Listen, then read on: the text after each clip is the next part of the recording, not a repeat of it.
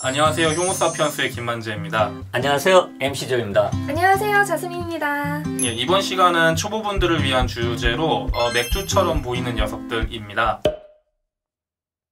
저희 채널에서 맥주의 기본 재료에 관한 영상을 보신 분들이라면 맥주가 메가, 홉, 효모, 물로 만들어지는 발효주라는 걸 알고 있을 겁니다. 그 여기서 메가는 볼이나 밀, 귀리 등등을 맥주 용도에 맞게 가공한 형태로 메가에서 추출한 당분이 포함된 액체에 나중에 효모가 들어가서 발효를 하면은 알코올이 생겨 맥주가 된다 했습니다. 그래서 맥주를 비롯한 발효주들은 효모가 알코올을 만들 당분을 어디서 이제 당분이 어디서 오느냐에 따라 이제 주종이 달라지는데 다른 발효주인 와인은 포도에서 막걸리는 쌀이나 밀에서 맥주는 메가가 베이스입니다. 두 분께서는 마트나 편의점에서 이 제품들을 보신 적이 있으신가요? 네, 저는 진짜 많이 봤어요. 그리고 이 썸머스비는 제 최애 술이라고 해야 되나? 최애 술이거든요. 그래서 저는 자주 많이 찾아봤었어요. 근데 이게 맥주가 아닌가요? 어, 네, 그렇습니다. 결론만 먼저 말씀드리면 이 제품들은 맥주가 아닙니다. 여기 라벨에도 써 있지만 cider라는 제품이죠. 음, 근데 cider가 뭐예요? 어, 유럽에서 주로 마시는 사과즙으로 발효한 발효주인데요. 알코올 도수는 4에서 8도에 이르고 지역에 따라 프랑스 쪽에서는 cidre로, 영국에서는 사이다라고 표기합니다. 즉뭐 포도로 만든 거를 와인이라고 하듯이 사과로 만든 거를 사이다라고 하죠. 그러면은 그 우리가 잘 알고 있는 콜라나 사이다 할 때 그 사이더랑 똑같은 건가요? 네, 뭐 우리는 탄산음료를 사이다라고 생각합니다만 아마도 전 세계에서 탄산음료를 사이다로 생각하는 나라는 한국과 일본뿐이 아닌가 싶어요. 이것은 역사적 배경을 가지고 있는데요. 일본이 1853년에 네덜란드 해군에 의해 개항 압력을 받을 때 탄산음료 레모네이드도 함께 이렇게 전래가 되었는데요. 그 이후에 1868년에 영국인 존 노스와 레이가 사과술인 사이다의 향과 맛을 가미해 샴페인 사이다라는 이름으로 탄산음료를 개발 판매하게 되면서 탄산음료를 통칭하여 사이다라고 부르기 시작했습니다. 음.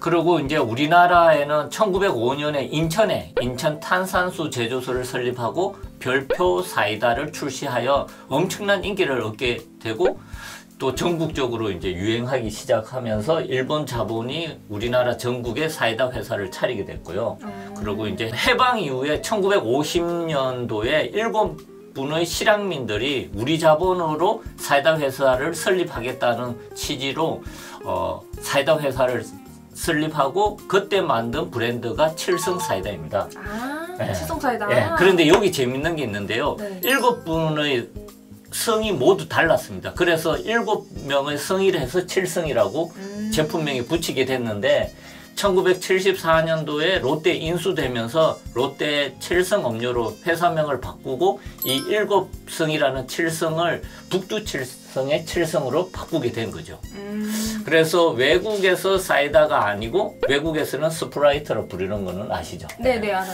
그리고 일본의 국민 사이다인 라무네의 경우도 1872년에 만들어졌고 지금까지 생산되고 있는데요. 입구의 구멍에 구슬이 하나 박혀 있는 거.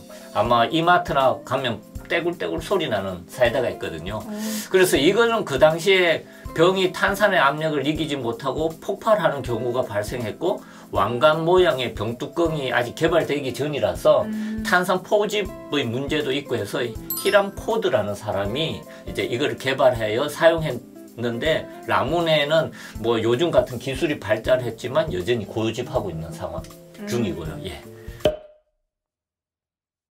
그런데 이걸 왜 맥주라고 알고 있는 사람들이 많은 거죠?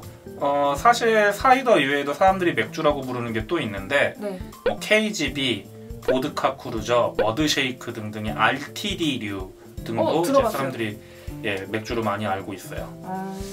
어 근데 이것도 편의점에서 많이 본 건데 맥주가 아닌 거네요 그러면? 예 보통 RTD류라고 부르는데 ready to drink의 약자로 칵테일과 비슷한 개념이에요. 음... 근데 이거는 이제 뭐 바텐더가 섞어줄 필요 없이 바로 마실 수 있게 이미 병이나 캔에 섞여 있는 제품이죠.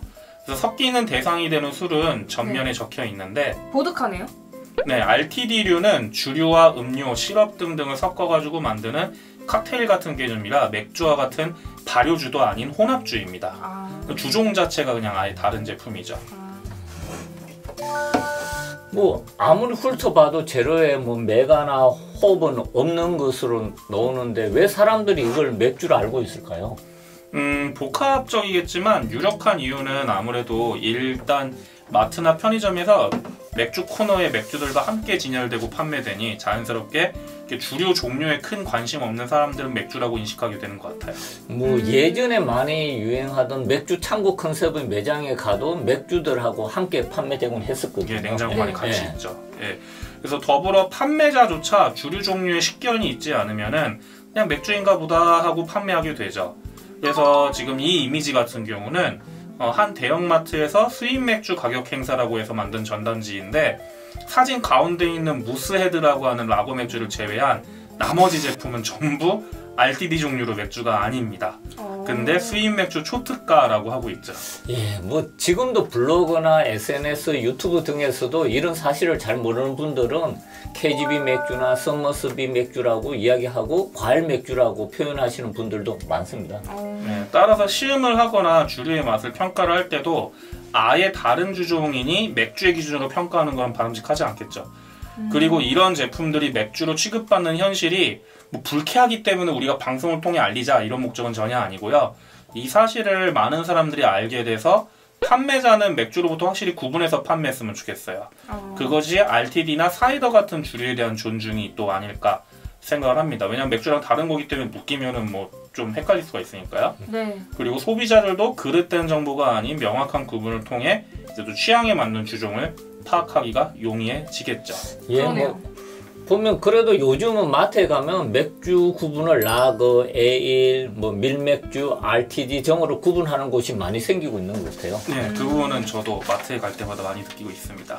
저도 근데 애매하게 알고 있다고 생각을 하고는 했는데 오늘 내용을 통해서 좀 명쾌해진 것 같네요.